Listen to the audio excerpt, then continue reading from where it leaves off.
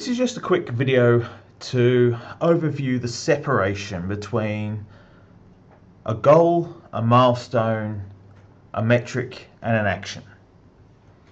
And this has come about to help people now implement having set aside a plan, having worked out what they want to do, how to use these four ideas to create an implementation.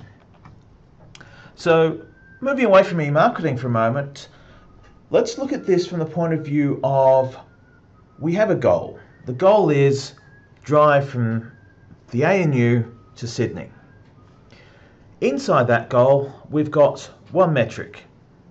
That is the expected time. So by the Google Maps, it's 3 hours 10 minutes.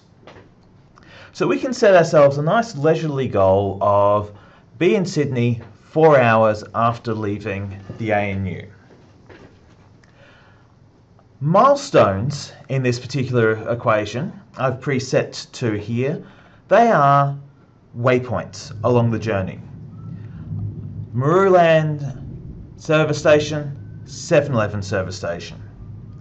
At each of these milestones, starting with the Marulan, we can see that there is a set of sub-metrics.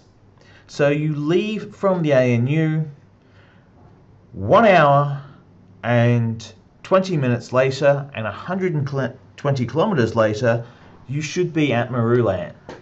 So your first metric is how am I tracking for time? Am I getting to Marulan on schedule? Am I getting to Marulan ahead of schedule, in which case I should slow down, or am I behind schedule, at which case I need to reassess one of my goals.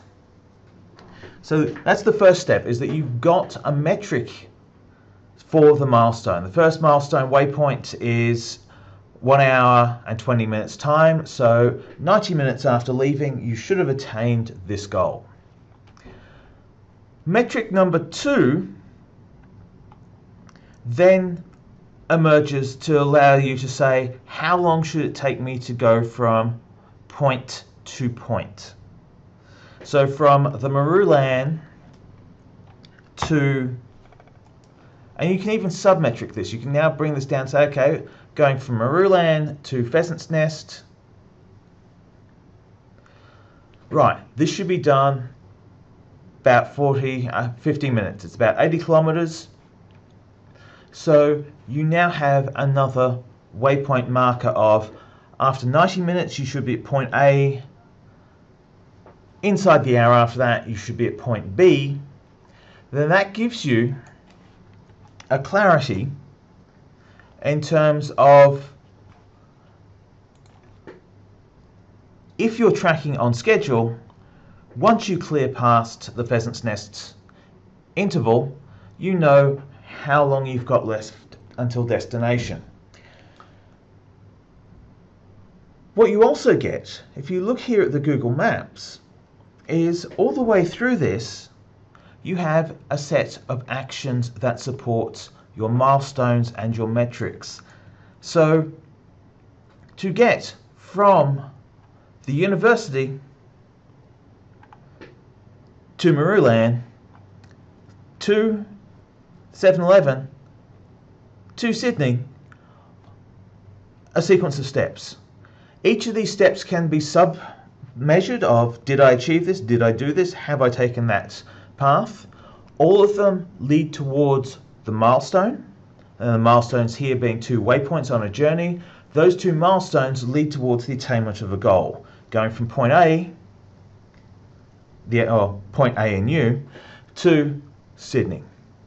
And this is the sort of way I want you thinking about how do I turn a goal, achieve my destination, into a set of waypoint markers, waypoint markers with distinct measurements that can tell me whether I'm tracking to be on schedule, behind schedule,